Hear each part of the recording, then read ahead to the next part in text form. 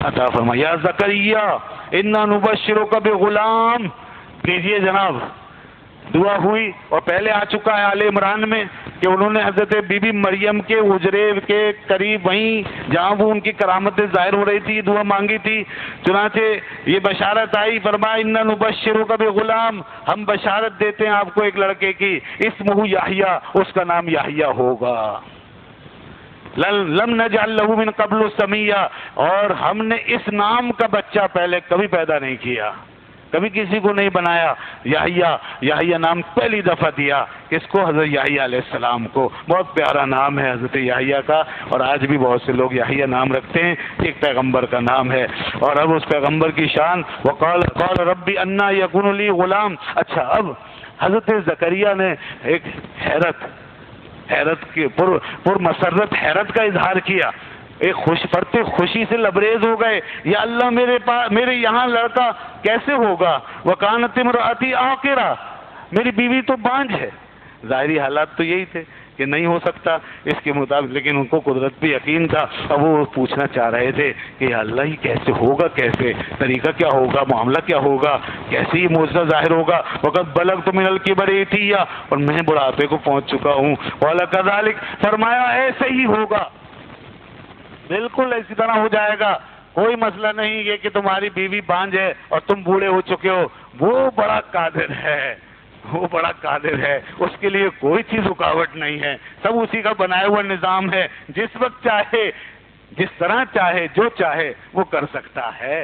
ये निज़ाम भी तो उसी का ही है कि इतने सालों में, इतने साल से इतने साल तक औलाद हो सकती है। उसी ने तो बनाया है। अगर वो इसकी जगह कुछ और बना देता तो वही चलता।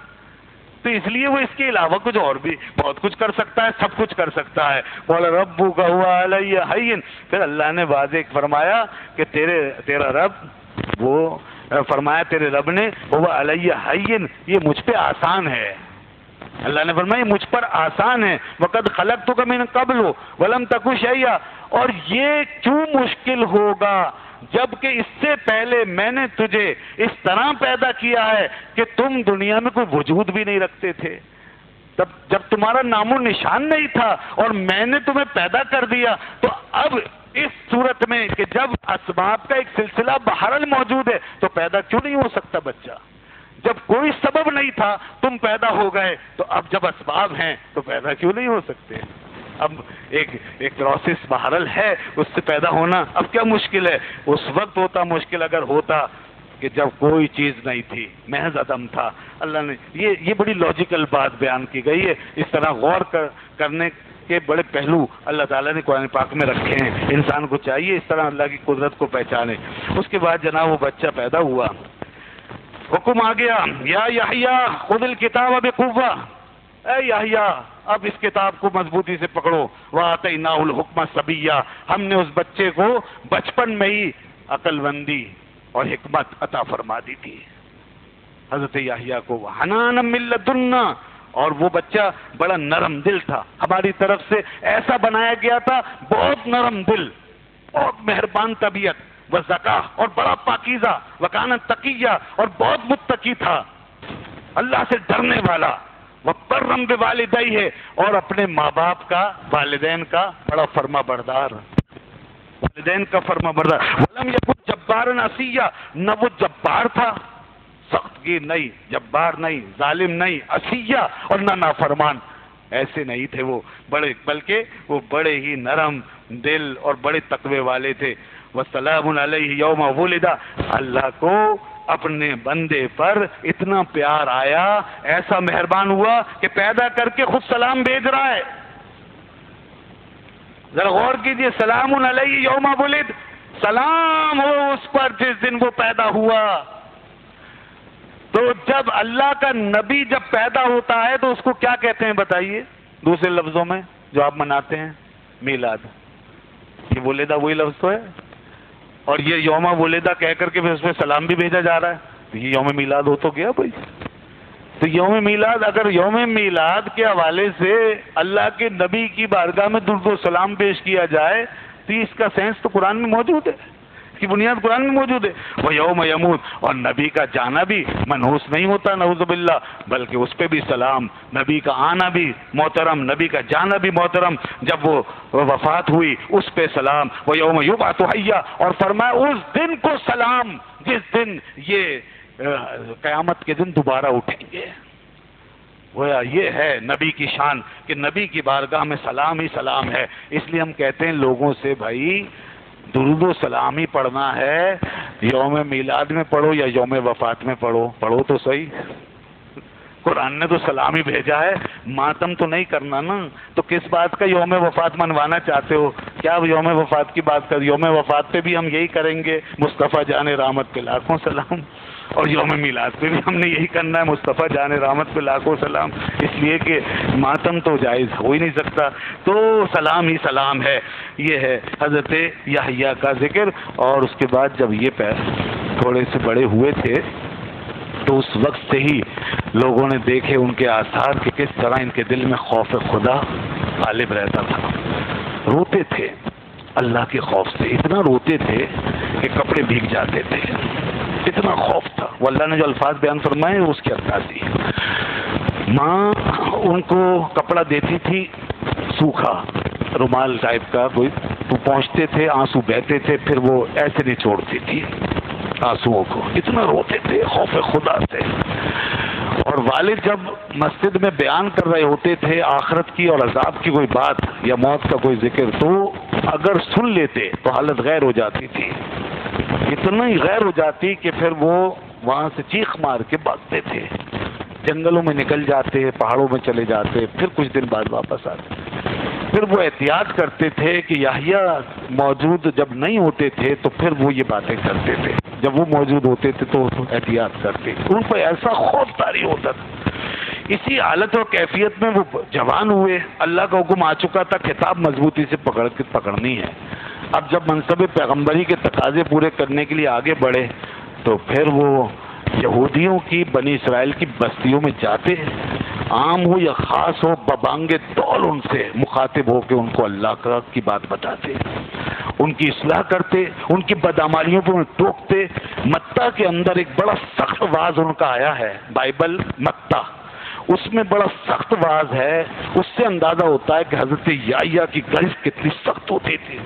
वो कौम के बद के माश लोगों से मुखातिब होके कहते हैं, जो बिगड़े हुए और जमाने को बिगाड़ने वाले, वो कहते हैं, ओ सांप के बच्चों, तुम अपनी इसलाह करो और किसी खुश फहमी और जाम में मत रहो।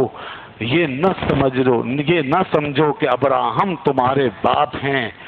अल्लाह चाहे तो अब्राहम की औलाद इन पत्थरों से पैदा कर दे। अब्राहम से मुराद इब्राहिम अलैहिस्सलाम। ये सब उनकी औलाद अपने आप को शुमार करते हैं ना, और हैं भी बनी इसराइल। तो इस दाम में ना रहो, बिगड़ो नहीं, और ये गड़बड़ ना करो। अल्लाह चाहे तो उनकी औलाद को इन पत्थरों से पैदा कर दे। लिहाजा अपनी इसलाह करो। ये बातें वो करते अब ज़ाहिर है, एक अल्लाह का नबी तो अपना काम कर रहा है। मगर लोग बनी इसराइल से बिगड़ चुके थे कि वो बर्दाश्त नहीं करते थे। यही कुछ ईसा सलाम के सब वो भी थोड़े ही अरसे में आ, सामने आ गए थे दुनिया के और वो भी अपना काम करते जाते थे। मगर लोग इनकी बातों का असर लेने के बजाय और बिगड़ते थे। हज़रत याहिया की ज़रूरत का आलम ये था और नबी की शान यही है कि हीरोदिस की जो बादशाह था हीरोदिस उसके दरबार में बरसरे आम पहुँच जाते थे। जब भी वहाँ दरबार लगता, वो वहाँ चले जाते और उसके दरबार में उसके सामने खड़े होके बादशाह को बबांगे दौल टोकते थे और कहते थे कि ये जो कुछ है गलत है, ये अयाशियाँ खत्म करो, ये बदकारियाँ बंद करो। हीरोदिस ने एक बहुत घनावना काम कर रखा था कि अपने भाई फिलिप की बीवी को अपने पास रखा हुआ था और बगैर निकाह के। तो हज़रत याहिया ने इस बात पर हीरोदिस को बरसर आम टोका और कहा कि ये गलत है, ये गुनाह है, अल्लाह की इसकी सजा है, इसको वापस भेजो, ये नहीं हो सकता। ये बात टोकी तो वो जो हीरोदिसिया, उसका नाम था उस बीवी का जो उसके भाई की बीवी थी, उसने जब ये देखा कि याहिया बरसरे आम हमें जलील कर देते हैं और हमें टोकते हैं तो वो हज़रत याहिया की मुखालिफ हो गई। वो हज़रत याहिया की मुखालिफ हो गई और उसने फिर कोशिशें शुरू कर दी कि अब याहिया को किसी तरीके से कोई सजा दिलवा दी जाए और इनको रास्ते से हटा दिया जाए। एक दफ़ा दरबार लगा। उस औरत की बेटी ने बादशाह के दरबार में उसके मेहमानों के सामने ज़बरदस्त रक्स किया। बादशाह खुश हो गया, मेहमान खुश हो गए। उसके रक्स से वो मुतासर हुए। उसको वहीं बरसरे आम बुलवा कर करीब उससे पूछा कि तुम्हारी जो भी ख्वाहिश हो, आज मैं तुम्हारी हर ख्वाहिश पूरी करने के तैयार हूँ, तुम जो मांगना है मांगो। ये उस औरत की बेटी है। बादशाह ने यहाँ तक कह दिया कि अगर तुम मेरी आधी सल्तनत भी मांग लोगी तो मैं तुम्हें दे दूँगी। मैं तुम्हें दे दूँगा। अब जब ये बात हुई तो वो लड़की होशियार थी, अपनी माँ की पढ़ाई हुई। वो फ़ौरन अपनी माँ के पास गई और उसने जाके उससे पूछा कि, बादशाह मुझसे ये कहता है, तू बता कि मैं क्या करूँ, क्या मांगू? तो उसकी माँ ने जो हज़रत याहिया के खिलाफ जहर घोल के बैठी हुई थी अपने दिल कलेजे में, उसने फ़ौरन मुँह खोलते कह दिया, जा यू हन्ना बपतस्मा देने वाले का सर मांग ले। वो फ़ौरन आई और कहा, बादशाह बादशाह सलामत, मुझे यूहन्ना का सर चाहिए। यूहन्ना यानी याही सलाम। बादशाह एकदम अचंभे में आ गया, चौंक गया, ये क्या मांग लिया? यूहन्ना का सर मांग लिया। बादशाह जाती तौर पे हज़रत याहिया सलाम के तकदस और उनकी अजमत से वाकिफ था। वो जाती तौर पे जानता था कि याहिया मुकद्दस हस्ती हैं, आम लोगों में से नहीं है, अल्लाह की तरफ़ से मबूस है। ये उसने बड़ा खतरनाक सवाल कर डाला, मगर बादशाह बादशाह होता है, उसकी नाक ऊँची होती है, ऊँची रखता है वो। उसने वादा किया था, उसके अल्फाज थे, मेहमान बैठे हुए थे, लोग भरे हुए थे तो वो अब अपने अल्फाज से फिर नहीं सकता था। बदले न ख्वास्ता, उसने उस रक्कासा को खुश करने के लिए उसी वक्त हुक्म दे दिया कि जाओ, जाकर यूहन्ना का सर उतार के ले आओ। सिपाही गए, हज़रत याहिया को पकड़ा और उनकी गर्दन को काटा, तश्त में रखा गया और ला करके उस बादशाह के पास पेश किया गया। वो सर उसने उस लड़की के हवाले किया। लड़की भागी हुई अपनी माँ के पास ले गई। ये मामला हुआ अल्लाह के पैगंबर के साथ। कैसी कैसी कुर्बानियाँ दी हैं इन नबियों ने, इन अम्बिया कराम ने। इसी तरह इनके वालिद गिरामी हज़रत जकरिया भी अपनी कौम के शर से भागे, वो कौम पीछे भागी। और वो आगे गए, जंगल की तरफ़, एक दरख्त के अंदर चले गए। दरख्त फट गया था, खुल गया था, अब उसके अंदर चले गए। कौम पीछे आई, उसे असर कराइन से अंदाज़ा हो गया कि, या, जकरिया इस दरख्त के अंदर है। आरा लाया गया, एक आरा लाया गया और दरख्त को काट दिया गया। जब दरख्त कट गया तो हज़रत जकरिया के जिसम के भी दो टुकड़े हो गए। ये सिलसिले चलते होते रहे इन हस्तियों के साथ। इन बड़ी बड़ी कुर्बानियाँ देकर ये लोग गए हैं, ये हस्तियाँ गई और सबसे ज़्यादा रसूल पाक अलैहि वसल्लम को अल्लाह की राह में सताया गया और आप इनकी कुर्बानियाँ और आपके असाब की कुर्बानियाँ हमारे सामने मौजूद है।